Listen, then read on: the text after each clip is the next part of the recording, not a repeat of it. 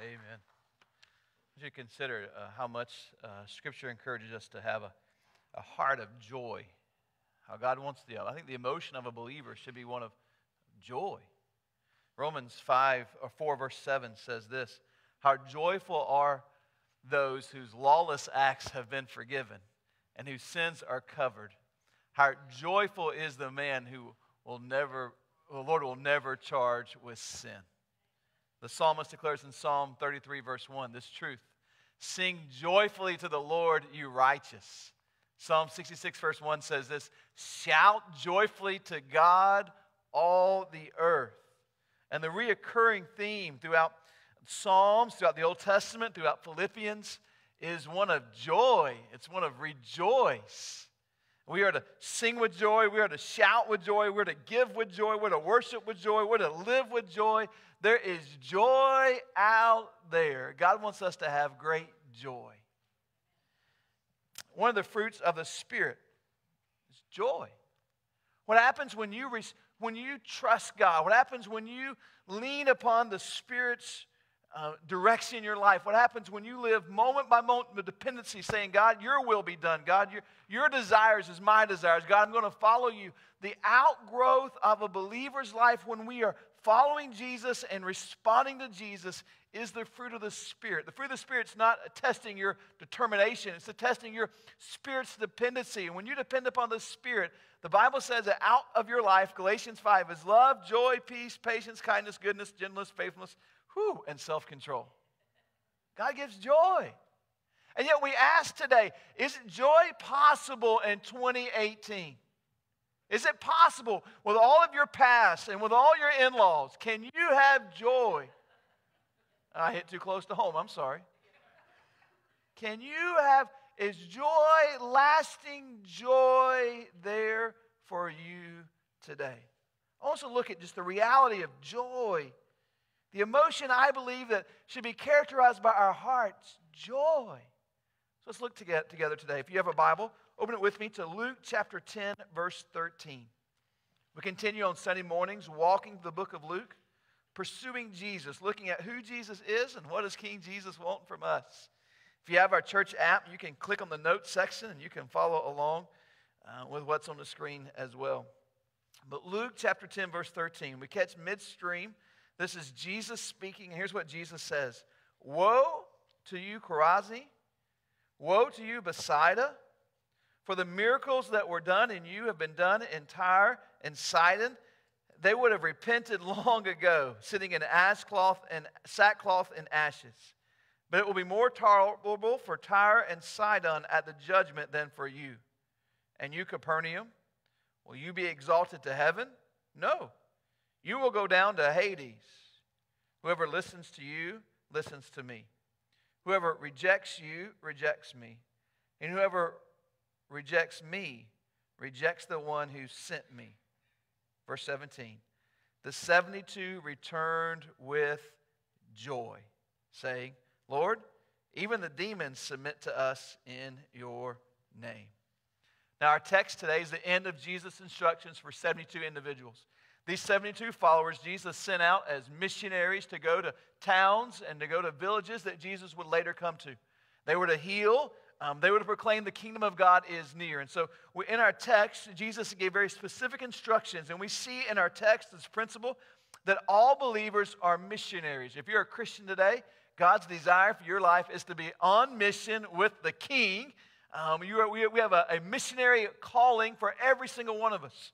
Uh, today, uh, thankful to have some missionaries that, that uh, Eddie Paul's class supports from Japan, and we are thankful for their sacrifices, the Carneys, for their uh, and where God is working in Japan.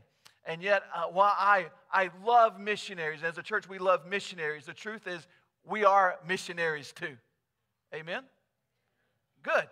And yet, we see here in, in the text here, we see that there are specific principles to these 72, yet I think that rings for us all. Jesus tells us that the mission is difficult. It's like lamb among wolves. It's, it's urgent. You don't have time for, for um, packing bags. You don't have time for extra sandals, but it's, it's, a, it's an urgent mission. It's serious business. Jesus tells them that it involves trusting God. They had to trust that God was at work here, that God would do a great work among these villages. And they had to live surrendering their lives to God's reign, surrendering their lives to the kingdom of God. And we come to our text, we see another spiritual truth. Jesus says that they go as representatives of Jesus. How individual towns, how individuals respond, isn't so much how they respond to the missionaries, as how much they respond to Jesus. If they listen to them, then they're listening to Jesus. If they reject the message, ultimately they're rejecting Jesus. And we see a truth in here I don't want to miss. I think my friends, Jehovah's Witness, miss this truth. I think our Jewish friends miss this truth. Jesus says, the last part of 16, whoever rejects me rejects the one who sent me. See, we see some, a unique tie between the, the ministry of Jesus, the mission of Jesus, and God the Father. We see a great unity there. You can't say, I love God and hate Jesus, or I love Jesus and hate God, but, but their ministry and mission is very much entangled and togetherness. And we see that truth here repeated again here in Scripture. But we see the emotion of these 72 when they return. Look with me, verse 17. The Bible says, they returned with woohoo! Joy. Joy. Man, you want joy today? You want joy? What's that old children's song? Down in your heart? There you go, son. You know that song. You want joy today? I think I want to see two things in God's word today. I believe that joy is found in obedience to Christ. Joy is found in obedience in King Jesus. They returned with joy. They had obeyed God, they trusted God, they went, they, they, they healed, they spoke the message of God, and they came back with joy. They may have left uneasy, they may have left unsure, they may have left unsettled, but when they returned, they were no longer uneasy, they were no longer unsure, they were no longer unsettled. They returned with joy. And I believe that joy is tied to their obedience in Christ. It is a joy to trust God. It is a joy to sing to God. It is a joy to serve in the name of God. It is a joy to obey God. And even when God asks us to take steps of faith that are uncertain and uneasy and scary, it's still a joy to follow King Jesus.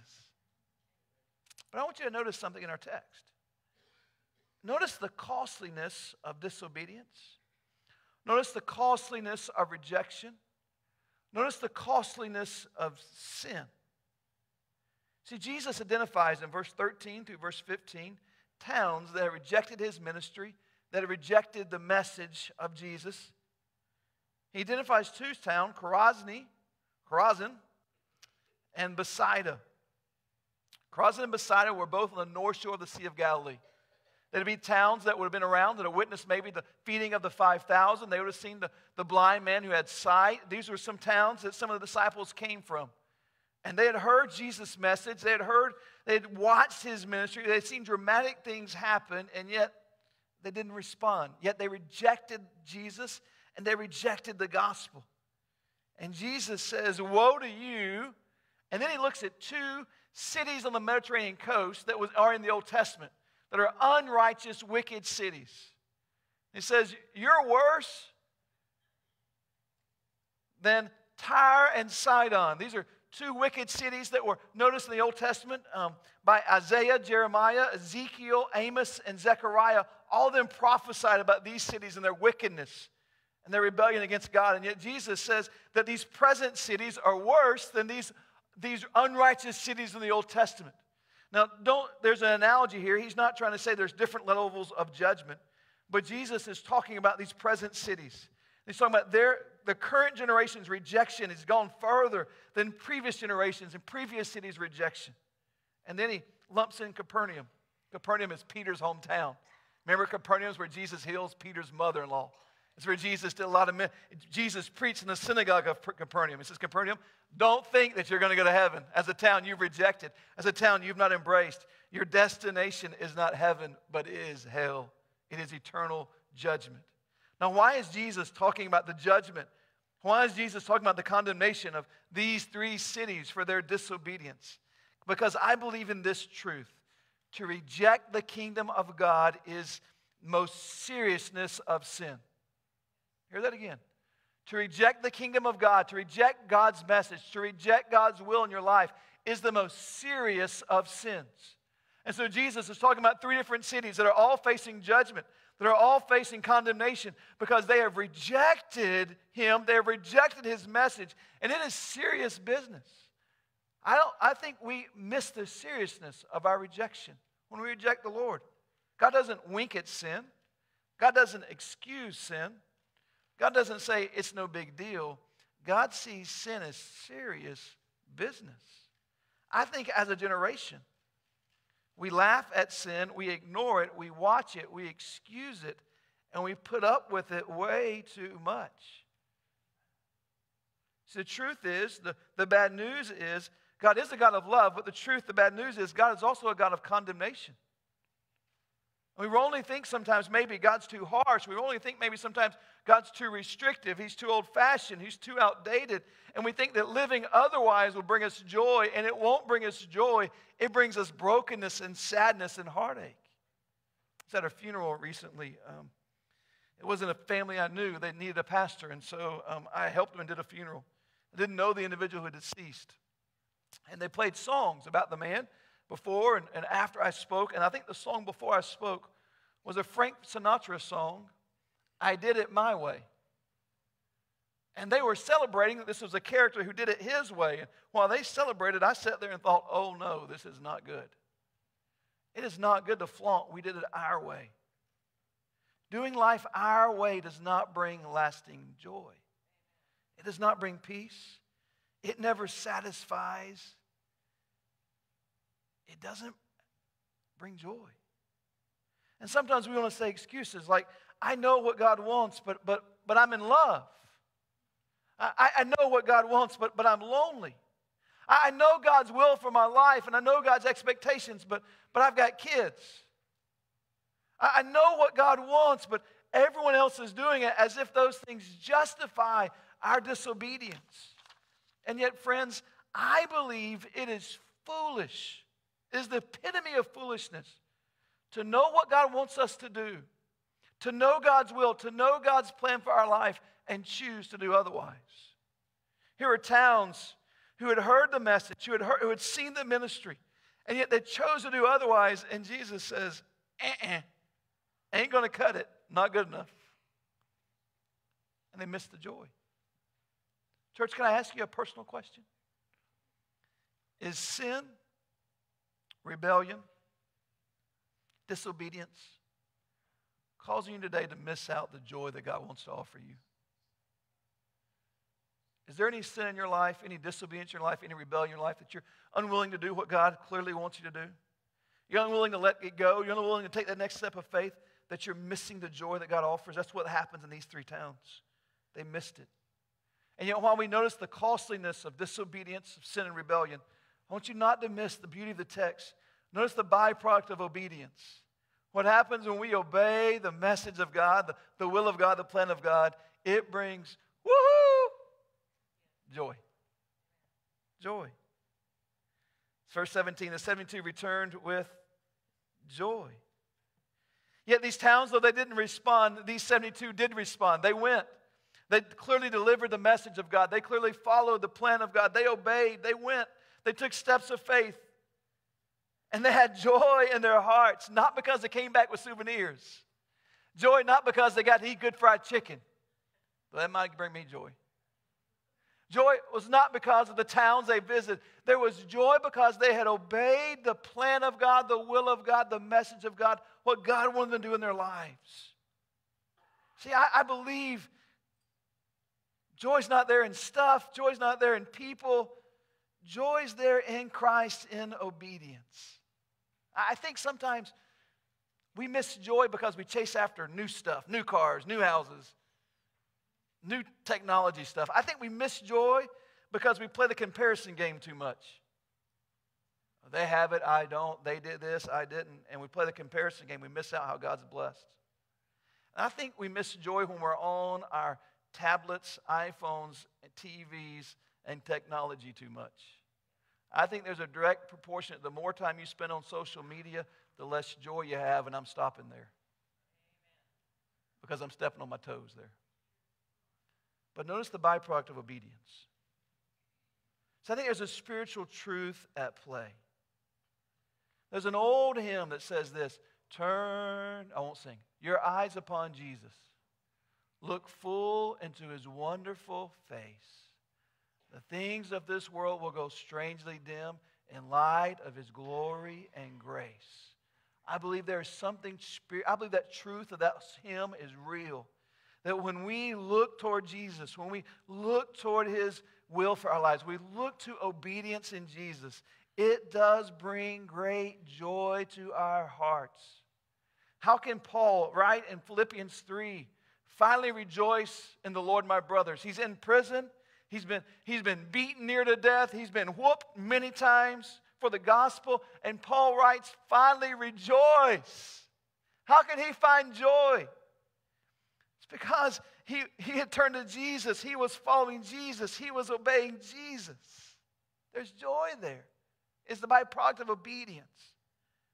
I remember one of our church members, this quote won't leave me.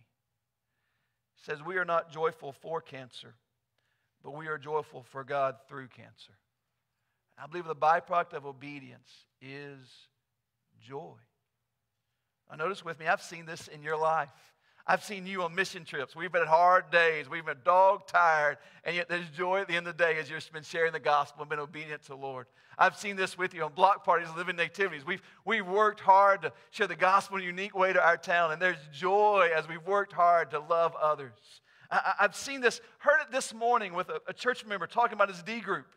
It's a D group that I think after they, they study the Bible, they shoot guns together. And as he was sharing about his D group, I can hear it's just great joy as he talked about being a disciple maker. There is joy. It, it's found not in looking for joy, it's found not in focusing on joy, but when we look to Jesus, when we obey Jesus, when we, when we respond to Jesus' call in our life, even among the hardship, there is joy in our heart as we live to please Jesus. And the 72, they might have went out uneasy. They might have went out uncertain, but they returned with joy because they had obeyed the message of Jesus. And church, if you're missing some joy today, maybe the word is, man, when we obey Jesus and follow Jesus, he brings that to our life. Notice the second way to find joy. There's joy not only in obedience in Jesus, but I believe the scripture teaches us there's joy in salvation. Look with me again at verse 17. The 72 return with joy, saying, Lord, even the demons submit to us in your name. He said to them, I watched Satan fall from heaven like lightning. Look, I have given you the authority to trample on snakes and scorpions, to trample um, and over all the power of the enemy. Nothing at all will harm you. However, don't rejoice that the spirits submit to you but rejoice that your names are written in heaven. Now, I want you to see when these 72 they came back, they were like, let the good times roll. I mean, they were on cloud nine. And they were happy because God had given them power um, to heal, power over spirits, over demons. Now, I think it's quite unique that in Luke 9, they were saying, Jesus, stop, the, stop an individual for doing this. But now that God had given them power in this day to, just as a demonstration of God at work they were like, let the good times roll. And Jesus was like, you're joyful for the wrong things. And he looks back and he sees the important theology, he sees the downfall of Satan. Now, Scripture teaches us that there was a time that, that Satan, Lucifer, was one of the angels. He and, a, he and a third of the angels kind of tried to make life about themselves instead of the glory of God. And so God kicked Satan and a third of the angels out of heaven. We call them now demons, fallen angels. And yet, here it talks about the authority over things that, that try to stop the gospel, over the demonic. Jesus says, oh, I've given you authority over that. Now, as he looks about at Satan's fall, he could also be talking about the ministry of these missionaries as they go to towns. And we see the kingdom of God expand and the kingdom of Satan shrink. Maybe he looks at the work that Jesus will do. You know, when Jesus dies on the cross and he rises from the grave, he gives Satan a death blow. Sin is defeated, Satan is defeated. And maybe he looks to the great battle of Armageddon when Jesus will return And that great battle after the millennium, when that happens, there is no fight. King Jesus is victorious.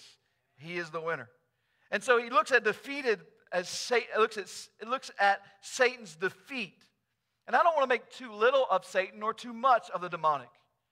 I think John MacArthur is right. Satan continues his efforts to make sin less offensive, heaven less appealing, hell less horrific, and the gospel less urgent. Satan is at work in the world we live in today.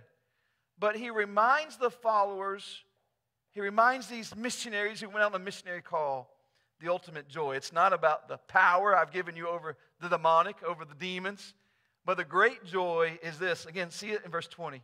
However, don't rejoice that your spirits submit to you, but rejoice that your names are written in heaven. See, here's the great joy here. It's not about power, it's not about demonstrations of God, but the great joy here is that to have your name written in heaven. Now, he's talking about Revelation 20, having your name written in the book of life. If your name is written in the book of life, it got there not because you're good looking, it got there not because you can make fried chicken, it got there not because you you've been kind, it got there not because you gave. It only got there because Jesus has saved you. The only way that any of us can have our names written in the book of life is for us to turn from our sins and turn to the, glorious Jesus and ask Him to be our Savior. And when He does, the Bible says God writes in permanent ink, Erase, unerasable, erasable. It ain't getting marked out. That's Georgia words. God writes your name in a, the book of life. Satan, nothing can thwart that, not even you yourself. It is put there in permanence. And yet, here Jesus is talking about the glory, the joy of having your name written in heaven, the glory, the joy of having salvation. See, joy is a characteristic of salvation. When people are saved, sometimes we say things like, well, who would be excited? Who should you tell that would be excited you got saved? And they'd say, well, my mama, my family, my friends, and we often say, call them. Heaven, if the truth of the scripture is, when you get saved, the angels throw a party. Heaven gets excited when you get saved. But so should our hearts. Think about it. When God saved you, woo-hoo! I got saved. You know, I don't understand how Christians can be Eeyores. I just don't get it. And I know life is hard. I know there are seasons that are hard. I'm not discounting that at all. But I don't know about Christians who, who the characteristic of their life is, I don't know. It's a horrible day today. It's raining. I guess I'll just stay in my PJs and go to Walmart. too far, too far. Too far, too far. Too far, too far. I lost you, I'm sorry. I don't get how Christians can be Eeyores.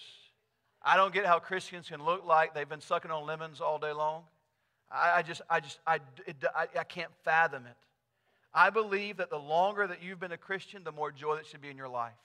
The longer you've had a chance to co- contemplate what Christ has done and a wretch like you, the longer you've been able to think about and know about the grace of God that took to save you, the longer that you know of your eternal destination, but only by the grace of God that you got a different eternal destination, if you've been saved, the longer you've been saved, the more joyful that will be in your heart. It is the characteristic. I love what First Peter writes. As Peter thinks about his salvation, he calls it the, um, says, rejoice with the inexpressible and glorious joy, knowing that God's at work to bring the fruit of our salvation. The inexpressible and glorious joy. Think about that. It is inexpressible and it is glorious to think about what Christ has done in saving us. And when we do, the overflow ought to be woohoo! The Pentecostals ought not have something over us. When we think about the joy, man, wow, it is joyful there. Think about it. When we realize that our name is written in heaven. See, no matter what happens in life,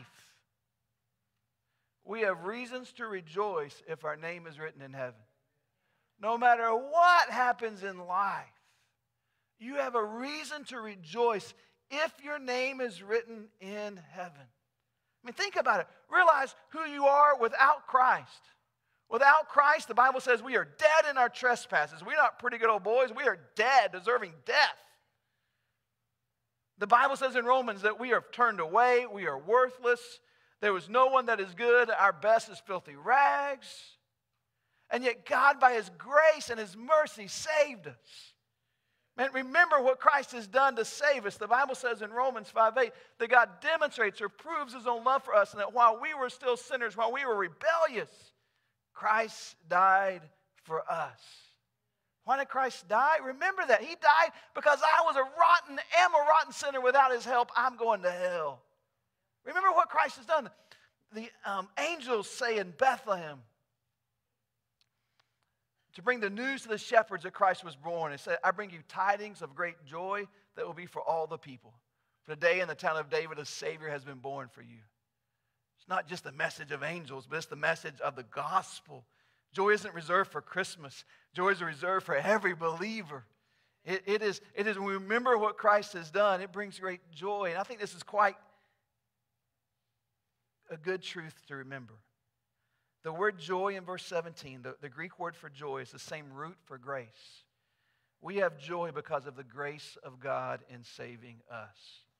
Not because I earned it, not because I deserved it, but because God showed his love in sending his son to die on the cross for me. I get salvation and I get joy. When we come to know the salvation of God, it brings joy. But reflect on the beauty of heaven. When we think about our salvation, the psalmist writes, I can only imagine. Church, I can't even imagine. And yet when I try to imagine, I look at scriptures like 1 Thessalonians 4.17, where it talks about when Christ returns and the church is caught up with him in the air. And 1 Thessalonians 4.17 says this truth, and we will always be with the Lord. Now think about that. For you have been saved. For you who God has taken your sins and he nailed them on the cross with Jesus. And for you who've been saved by the Lord, what does your future hold? You will always be with the Lord. Think about that. Next time the Cardinals lose to the Braves, and you think, oh, it's me. Next time your roof leaks and the cupboard is bare. Next time you feel lonely at night. Remember your future.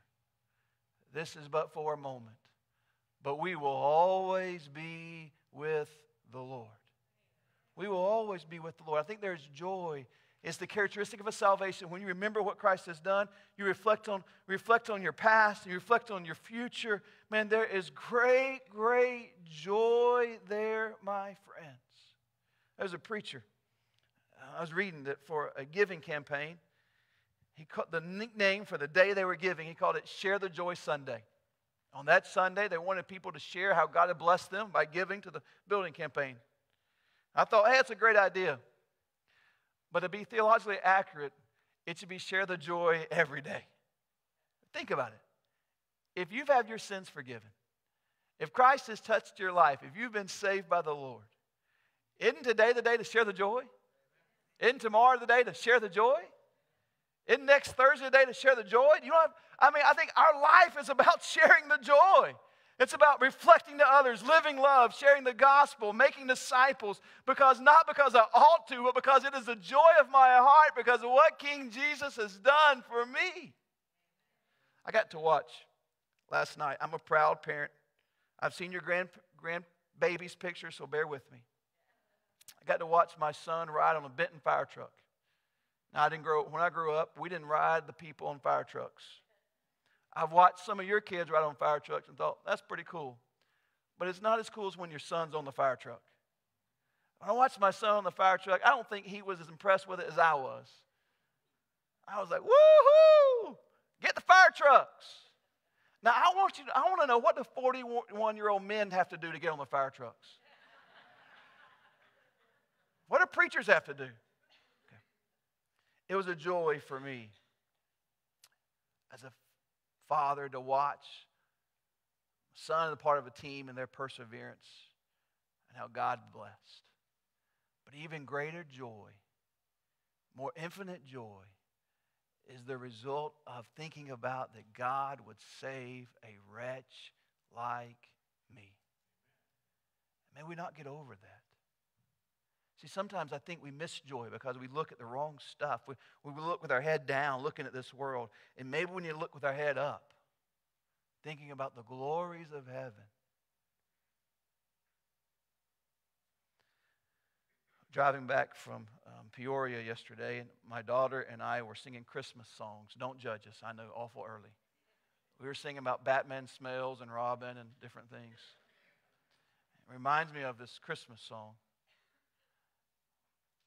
Joy to the world, the Lord has come. Yeah, I'll stop singing. I know that that's not so joyful. But that's more than just a Christmas song. That is the truth of life. Joy to the world, the Lord has come. Church, today, I don't know what you're facing. I don't know what you're struggling with. I, I don't know your life. Lord knows that. Today, if you're missing joy, it could be because there's disobedience in your life. It could be because of sin. It could be because you're failing to go where God's clearly said go. And if so, don't wait another day to get right with the Lord. Today, if you're missing joy, maybe you're looking down and not looking up, thinking about the glories of heaven. Joy is a byproduct of obedience. Joy is a characteristic of salvation. Today, if you're missing joy, maybe it's because you don't have Christ. See, without Christ reigning in your life, without Christ as your king, without Christ as your Savior, everything that the world offers won't satisfy. You can change spouses, you can change jobs, you can change cars, you can change what's for supper. It won't satisfy. Only Christ does. And when you have Christ, you have joy, joy, joy. Church, do you have joy? Let's pray together.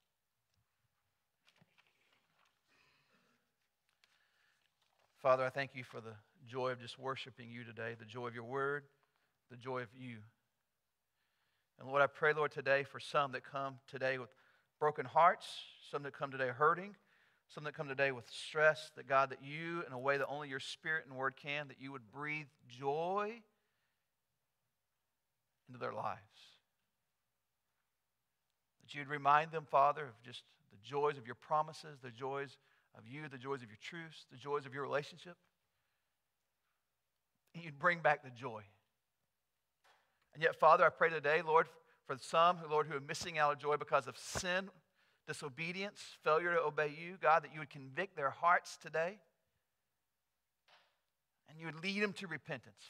If God's convicted you of something that's robbing you of joy, we just ask, Lord, in this holy moment, friends, to for God to forgive you and help, ask God to help you repent from that. Turn from that. Friend, maybe you're here today if you recognize God's spoken to you and you know today that you don't have joy, true joy in your life because you don't have Christ there. Uh, you know about Jesus, but you don't have Jesus as your Savior. You know, today, you'd be, if you died, you'd be like one of those towns. You wouldn't go to heaven, you'd go to hell because you've never turned to Christ. You've not been saved. Today, if Christ has spoken to you about your salvation, you know that you need to be saved. Will you settle that today?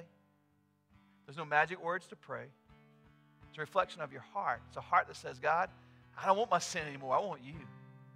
So if that's you today, will you in the quiet of the moment just pray and ask God to save you? Maybe today you're going to ask God to forgive you of your sins. Maybe you want to thank God for dying on the cross and rising from the grave. And maybe you just want to say, God, save me. Bible says everyone who calls upon him, Lord, they will be saved. Will you ask God to save you? He'll do that. God, help us to trust you. Help us to obey you. Help us to follow you. Help us, oh God, to live for you. In Jesus' name we pray. Amen. Friends, we come to our invitation time. Time we invite you to respond to Lord Jesus. What would please God for you to do today? Maybe today you're going to sing if you're a desire to follow Him. So, second, stand and sing. Maybe today there's something on your heart that you want to seek God's guidance, seek God's help, seek God's forgiveness, seek God's counsel. So, we invite you in a second to come to the altar and kneel and pray. Maybe today God's moving upon your heart for this to be your church family.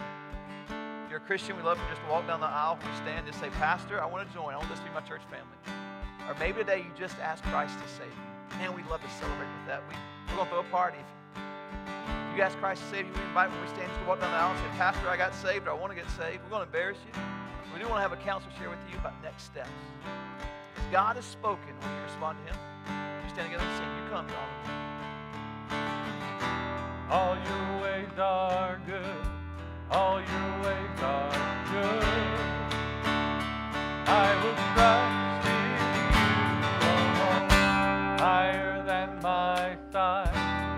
above my life. I will trust